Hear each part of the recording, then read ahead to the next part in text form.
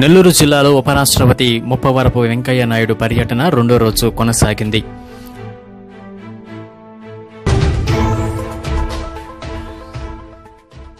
పాలకూరు రోడ్లో ఎఫ్ఎం కేంద్రాన్ని ఆయన ప్రారంభించారు.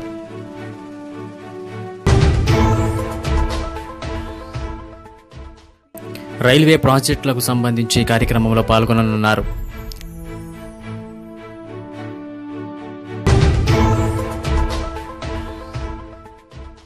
నెల్లూరు రైల్వే స్టేషన్ ఆధునికీకరణ పనులకు ఆయన శంకుస్థాపన చేశారు. నెల్లూరు దక్షిణ రైల్వే ఫుట్ ఓవర్ బ్రిడ్జిని ప్రారంభించారు. ఆయనతో పాటు కేంద్ర మంత్రి పీయూష్ గోయల్ కూడా పాల్గొన్నారు.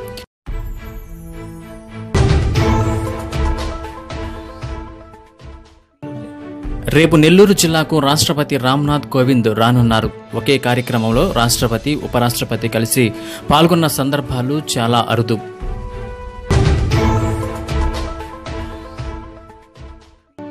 స్వదేశంలో తయారైన తేలికపాటి యుద్ధ విమానం తేజస్లో army chief general Bipin Rawat గురువారం వ్యవహరించారు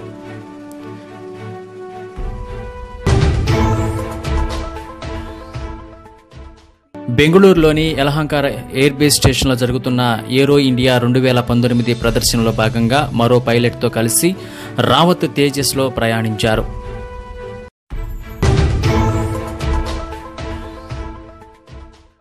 అంతకుముందు ఆయన తేజస్లో ప్రయాణించేందుకు అవసరమైన శిక్షణ తీసుకున్నారు. భారత్లో తయారైన యుద్ధ విమానంలో రావత్ ప్రయాణించడం ఇదే తొలిసారి.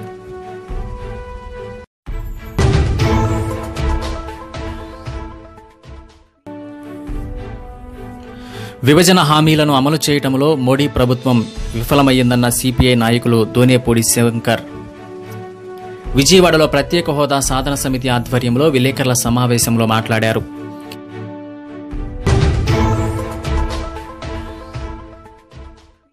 బీజేపీ జాతీయ అధ్యక్షుడు అమిత్ షా రాజమండ్రి పర్యటన నేపథ్యంలో టీడీపీ శ్రేణులు నేడు ఆందోళనకు దిగాయి.